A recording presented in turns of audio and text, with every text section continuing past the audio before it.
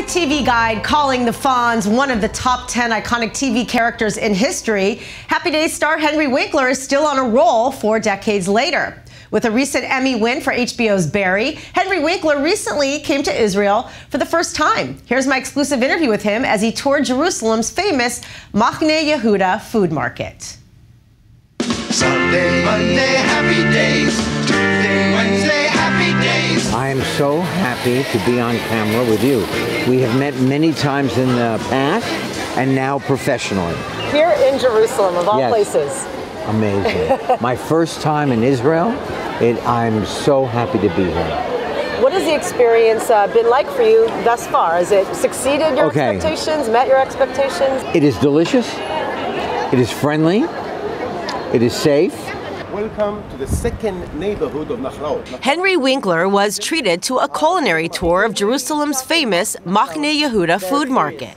We just had a Georgian piece of bread with egg and cottage cheese that all I want to do is not talk to you, but have another one.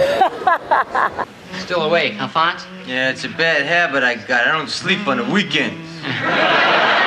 What do you think is the lasting legacy? Comedy and its humanity.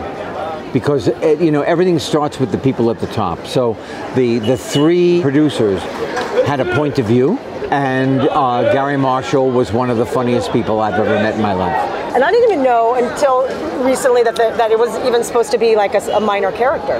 Yes, I had six lines. I worked once a week, and then uh, the rest is history. And uh, they are still my family. What do I, I don't know what to say. Wow! Wow! The 76 year young actor is still lighting up the screen, currently starring in HBO's Barry. I got the Fonz when I was 27 years old, and I got Barry when I was 72 years old. Just flip the numbers. And that I'm still working. There are men my age who are waiting for the phone to ring, and that I am still living my dream is an amazing thing. I am grateful every day. Similarly, Henry Winkler and Marvelous Mrs. Maisel star Caroline Aaron came to Israel to work. I made a show called Hanshi. It took me a week to figure out how to say that name. so I say it as often as I can. Hanshi. Hanshi. With the and it's on hot. Oh, it's so thrilling. I mean, I've never been to Israel.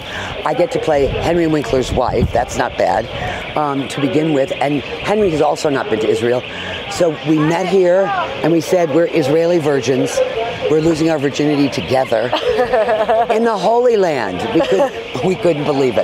The veteran actors are guest starring in U.S. Israel crossover series Hanshi, playing the parents of an Orthodox woman who leaves Brooklyn to come to Israel, where she sows her oats with Israeli soldiers.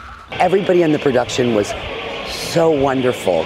We're the sort of the veterans of Hollywood anyway, and they had so much to teach us. There is no class system the way there is in Hollywood where you have the bigger trailer, I have the smaller trailer, so I'm more important than you, right? Everybody contributes and no one is shut out, and it, it's incredibly creative way to work. Henry and Caroline each had their own unique experiences as Jewish Americans.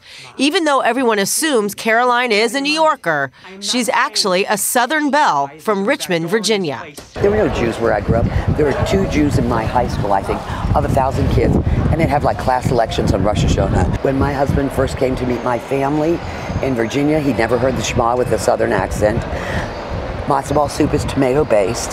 so for a Passover, matzo ball soup is orange. You have fried chicken as your main meal. Henry's parents narrowly escaped Nazi Germany in 1939 and made their way to New York. He just got a six-week visa, and then uh, he never told my mother that they're not going back. And so they uh, they came, and he took uh, the, his mother's jewelry, bought a box of chocolate, melted it down, poured the chocolate over each piece of jewelry, let it harden, put it under his arm. And when the Nazis said, Are you taking anything of value out of Germany? He said, No, open my bags. I've got nothing. It was all in the chocolate. On another note, Henry Winkler is also a prolific children's author. Safe Air. Book. That's it. with his autobiographical Hank Zipzer book series, Rewriting the Stigma of Growing Up with Learning Disabilities. 28 are about a little boy, me, who has learning challenges. So I want to say to every child that is listening, no matter how difficult it is for you to learn, it has nothing to do with how brilliant you are. Here. Grew up on your Give me your phone. Let me take it. Come here. Parents are gonna be so jealous. In Jerusalem, Emily Frances, I 24 News.